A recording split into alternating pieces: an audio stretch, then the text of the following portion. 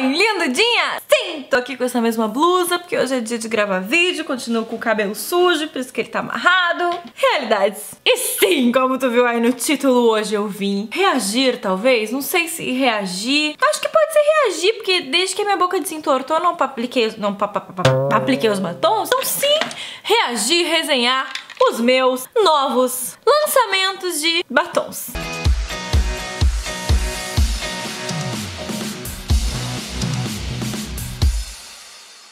Tu não sabe, não sei em que mundo tu vive, não sei em que canal do YouTube tu habita, mas não é esse aqui. Falando sério, gente, se tu não sabe, eu tenho uma linha de maquiagem com arela que fica lá no site www.arela.com com.br deu um leve branco aqui, mas vai estar aqui embaixo, é isso mesmo. Com eles eu desenvolvi, estou desenvolvendo toda uma linha de maquiagem, já temos sombra unitária, paleta de sombras, várias cores de batons, com essa daqui acho que temos nove cores, é, nove cores de batons e crescendo e contando, e crescendo mesmo, porque tem mais cor vindo por aí. Temos dois iluminadores em pó, que é o surra de lacre, pra tombar, tem iluminador compacto, enfim, tem uma infinidade de coisas por surgir ainda aí, e eu lancei com eles agora por último essas quatro cores de batons, além das existentes, que é o Selena, Helena, o Kim, o Kendall, o Bay e o Hihi. E vocês estavam alvoroçadas, né? Porque lançou na Black Friday, eu tava com a boca torta, eu nem sabia que ia lançar na Black Friday, achei que não ia dar tempo. Não tirei foto, não fotografei, não fotografei gringa. Não fotografei porque eu realmente tinha feito preenchimento e eu tinha aplicado de um lado só, e aí minha boca tava, tipo, super inchada de um lado só, enfim, não tinha como, né, gente? Era melhor não aplicar. E aí depois eu fiz o favor de perder esse aqui nas minhas próprias coisas, que é o Taylor, que ainda não tá na embalagem final. A embalagem final é essa daqui, mas eu não recebi ele ainda, pra tu ter uma ideia, né? Então, por isso também que eu não tinha filmado, eu estava esperando chegar a embalagem definitiva, mas não chegou, então vamos assim mesmo, né? Bom, gente, eu vou começar falando de um batom que ele é primo do Kim, não só no nome, mas na cor também. O Kim, se não sabe, é um marrom com fundo muito caramelo, que eu desenvolvi. Eu amo, eu sou apaixonada por batom marrom, por várias nuances de batom marrom. E quando eu desenvolvi o Kim, o Chloe tava do ladinho, tipo, eu ia escolher entre o Kim e o Chloe. E na época eu tinha que escolher só entre um, porque tinha as outras cores já que já estavam definidas, então pronto, foi o Kim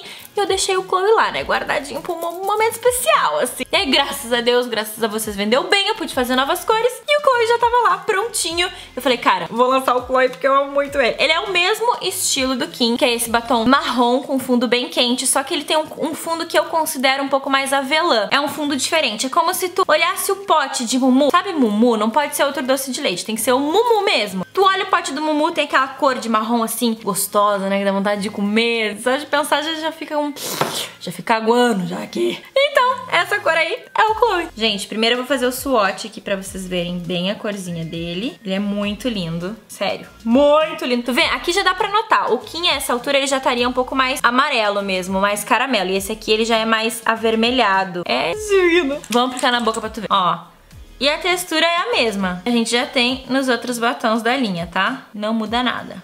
Pronto, gente, mostrando bem de perto, esse é o Chloe, ó. Diminui um pouquinho a luz pra vocês verem a luz real do batom, sem tanta interferência das luzes, né? Mas olha que lindo! O bom é que ele dá aquela clareadinha no dente, eu também acho que ele dá uma aumentada na boca, sabe? Esse tipo de cor aqui. Claro que eu aumentei um pouco também, mas eu acho que a cor dele por si só já dá um tchá, assim, sabe? E eu sou simplesmente apaixonada por tom de marrom e tom quente, então eu falei, cara, eu não posso deixar o Chloe lá, sabe, guardado.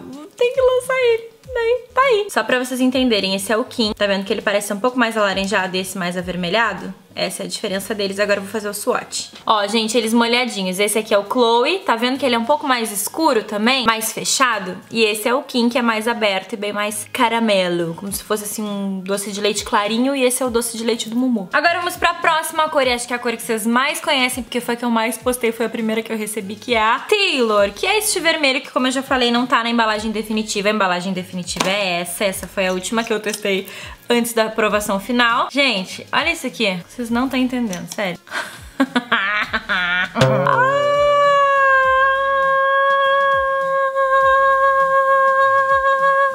Pronto, parei, juro. Assim, óbvio que eu gosto de todos os meus batons, gente. Não é à toa, né? Que... Ah, já caguei. Que eles estão na minha linha, né? Mas esse tanto de vermelho era o meu sonho que se tornou realidade. Ai, sério, gente. E tá aí, consegui criar, deixa eu escurecer um pouco, ó. Pra vocês verem bem também a cor. É um vermelho mesmo, tá, gente? Às vezes, dependendo da luz, ele pode parecer meio laranja, mas não. Ele é vermelho, vermelho. Até vou fazer o swatch aqui na mão. E eu segui bem o Pantone do vermelho tomate pra ser o nosso fundo. Ó, e aí a gente chegou nessa cor. Deus! E este é o famigerado Taylor, que sim foi inspirado na Taylor Swift.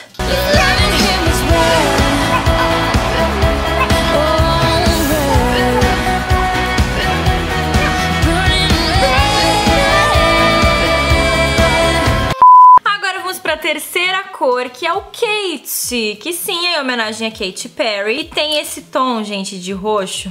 Ah! Sim, é relembrando os tempos antigos, né, de Pretty Poison. Quem é da antiga vai lembrar. Se tu é da antiga, comenta aqui embaixo. Tu é dos tempos do batom roxo. Falei, cara, não dá pra lançar uma cor de batom roxo, né? Então, fiz essa daqui, que é simplesmente... Ai, essa cor, sério. Eu amo essa cor. Vocês vão ver quando ela secar como ela vai ficar. Olha o badalo que é esse batom. V vamos, vamos combinar. Vamos combinar. Deixa eu te mostrar de perto. Assim, até ele parece quase preto, mas ele é roxo. É um roxo muito fechado. É um roxo que tem preto também na composição, porque eu queria esse roxão diferente, sabe? Diferentístico, assim, que tu passasse e ficasse um...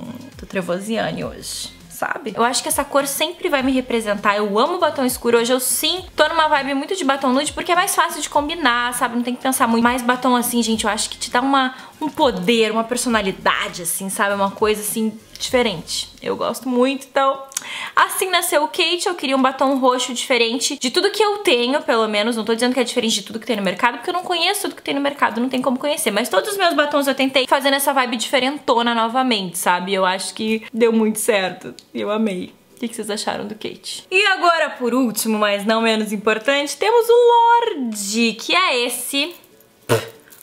Hum, pelo de gato. Batom marrom super trevoso. Esse tem bastante preto na composição. Inclusive, já, já vou comparar ele com o Riri, porque eu sei que vocês vão ficar em dúvida se ele é parecido, se ele não é. Ah, tem noção? Vou mostrar bem de pertinho pra tu ver. Olha isso, gente. Vamos aplicar, vamos aplicar. Sério, olha isso.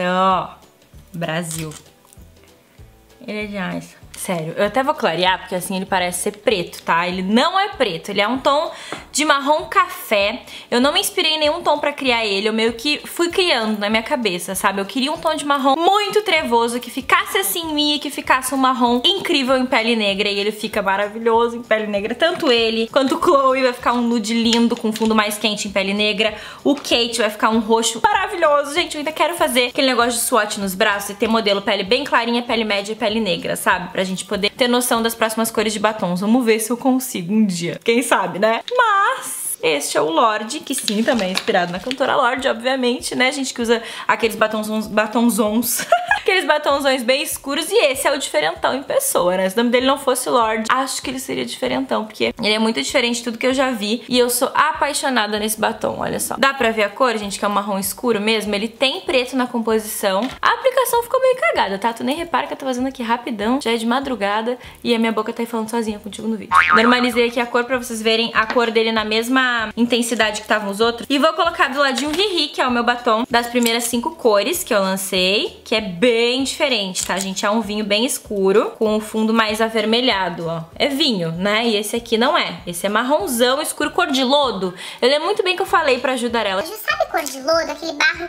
escuro? É tipo essa cor que eu quero. E ela ficou me olhando assim problema essa menina tem, né? Mas, gente, é uma cor que eu sempre quis achar no Brasil, nunca achei. É, é essa coisa que não é preto, mas também não é marrom, é uma mistura, uma coisa trevosa, uma coisa estilosa. É uma coisa incrível. Desculpa. Mas eu amei, sério, real, gente. Eu amei muito. Eu espero que vocês também gostem, né, gente? Porque eu fiz com todo carinho pra vocês. É pra vocês também essa coleção, essa linha. E eu queria já aproveitar e pedir pra te deixar aqui embaixo sugestões de cores que tu gostaria que eu criasse. Agora a gente vai entrar com umas um pouco mais normais, assim, tipo uns nudes, um rosinha. Tá faltando mesmo, né, na nossa coleção. E que são cores, assim, que a maioria do pessoal gosta e me pedem muito. Então vamos ter também. Mas deixa tuas sugestões aqui. Pode sair da caixinha, não precisa ser só de batom. Porque eu tô assim, ó, gente, com a mente explodindo pra criar produto. E esse ano vai ser o ano de criação de produto, então eu conto com vocês pra saber o que vocês querem também, o que vocês sentem falta no mercado, tá bom? Eu mostrei pra vocês o Riri e o Kim e vou mostrar aqui também o Selena, que voltou ao estoque, glória a Deus, só pra dar um remember, gente, ó. Então esse é o Selena, um dos mais vendidos da coleção junto com o Dos cinco batons, dos cinco primeiros batons, né, da minha coleção.